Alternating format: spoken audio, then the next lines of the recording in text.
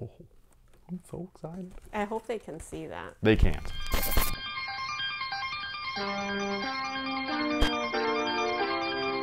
Hey, what's good guys? My name is Chris. Welcome back to the official WearTesters.com YouTube channel. Today, we got a detailed look on a reissue of the Ronnie Creagers. These things are so cool, man. And they're kind of a protro on top of that. Like they're not like the original, even though they look just like the original. This is what I've been wanting this brand to do because I've been buying a lot of their reissues, but most of them have different tooling than the original shoes. And you guys already know I don't like that. I like original stuff. I don't mind if you protro it or, or upgrade it, but it's got to look the same. Mm.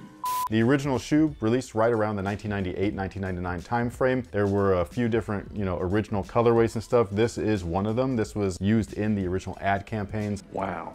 These guys right here, not quite like the originals, even though they really do look a whole lot like the originals. I really wish that we can get some more original colorways. Hopefully they sold well enough to enable them to be able to do that. So far, only two colorways have released. It's this one, and then there's a black with kind of like a yellow or neon. I can't tell. I did pre-order both, and they're just not here. I had to actually grab these from somewhere else because the place that I pre-ordered them from just hasn't fulfilled the order yet, which was unfortunate because the fact that I did pre-order them means that I did not go after them on release day That means that these are my size nine, which is my normal shoe size. But for skate shoes, I always have to go up at least a half a size because of all the padding that's in there. They're just really tight. And so as soon as I put these on, I was kind of like, oh man, I hope that they fit. And I mean, I can get my foot in there, but I'm not doing anything in these. Like my toes are at the edge, bro. And it's, but anyways, eS is one of my favorite uh, just skate shoe brands in general. I think that they have some of the coolest original designs, especially when you go back to that late 90s era of skate where everything really started to pop off. They had all the guys, man. They had Eric Koston, Burnquist, Muska, and then they got Creager and everything. They had everybody, man. It was basically like damn near the whole Tony Hawk lineup. Tony Hawk Pro Skater. I can. You're welcome. You're getting older all the time. Look at all that gray hair, man. She changed, she changed the words, and yes, they match my beard. It's fine. I own it. It's all good. But anyways, the outsole is damn near like the original. Looks awesome. I don't know if this is exactly what I would do on a skate shoe currently, especially because skaters nowadays prefer way different stuff than what this stuff was back in the 90s and early 2000s. This features a rubber cup sole, believe it or not, which is super weird because I thought that originally the midsole was polyurethane and everything, which again, I don't even know if that's the original tech specs. This was a shoe that I wanted a lot, but could not get. I could not afford shoes back then, back in the 90s and stuff. I didn't get a job until, or an official job, until a little bit later. I think it was a junior in high school and these came out right before that. So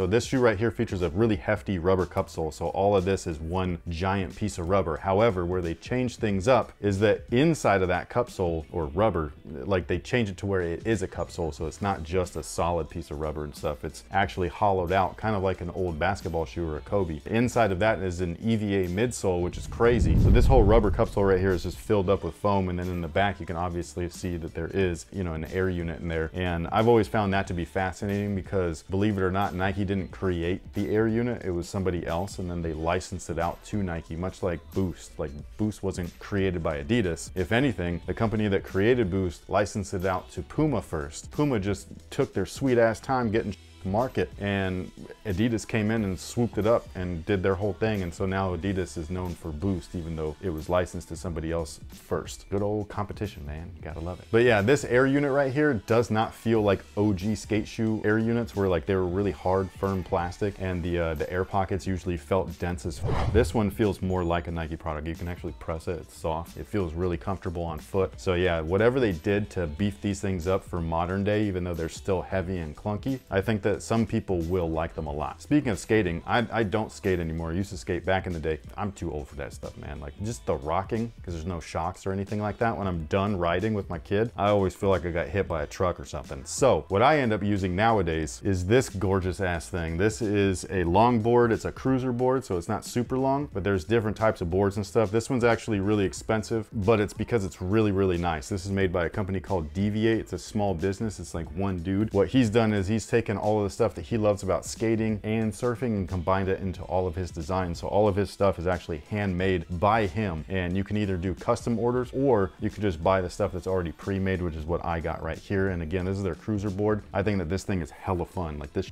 goes. Kick,